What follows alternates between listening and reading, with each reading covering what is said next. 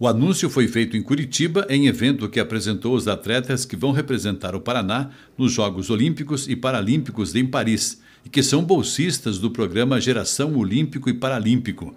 Na mesma solenidade, foram entregues kits com materiais esportivos a 138 municípios paranaenses, aqueles que sediaram os Jogos Oficiais do Paraná ano passado, como os Jogos Escolares. Nós temos em torno de 300 mil jovens envolvidos em todas essas modalidades. Claro que o primeiro contato com o esporte é na escola.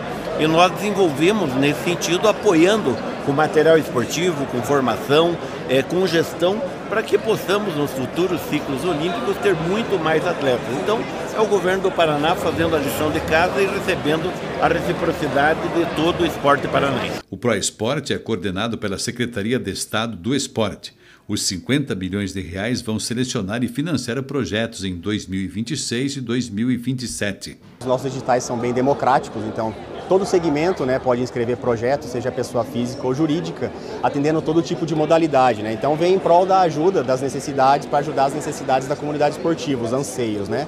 Então os nossos editais eram lançados anualmente, agora com o um recurso de 50 milhões para dois anos, os editais serão validados para os próximos dois anos, 26 e 27. Nós todos paranaenses de que nós vamos ter saúde, vamos ter os nossos filhos praticando esporte e toda a população do Paraná vai ser com certeza, esses resultados dessa semeadura que está acontecendo no estado do Paraná, no esporte vai trazer muitos resultados. Os atletas paranaenses que vão para Paris estão ansiosos para os Jogos Olímpicos. Eu classifiquei nos Jogos Pan-Americanos de 2023 em Santiago, então foi dia 23 de outubro, as coisas estão muito na memória.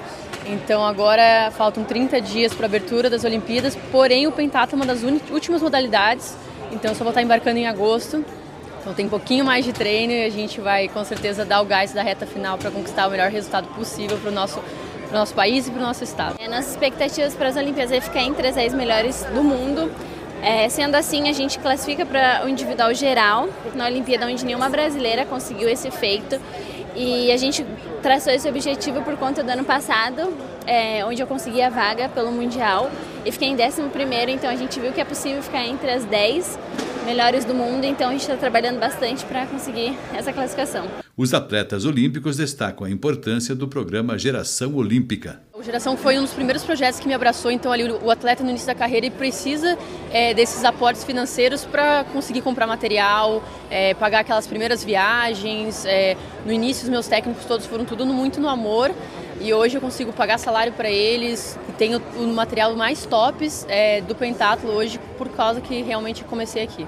Eu e o Vanderlei, que é o atleta que vai também para os Jogos Olímpicos, é, nós somos da, da geração, né? E a geração ela foi fundamental nessa parte de, de base de treinamentos, de material, de tudo isso, ela, ela foi fundamental para a gente. Geração foi essencial nesse, nesse período olímpico para mim, eu diria que começou ali 2021, logo depois de Tóquio.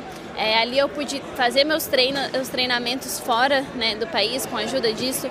É, aparelho também de ginástica rítmica que é muito caro, então uma bola, a gente fala uma bola, uma fita é 400 reais, então isso ajudou muito a gente a desenvolver suplementos também que a gente precisa. Então, não só acho que a ginástica rítmica foi um investimento, mas acho que todos os atletas olímpicos que estão, estavam aqui hoje é, usaram geração para dar esse impulso maior para a gente conseguir a vaga e chegar em Paris da melhor forma.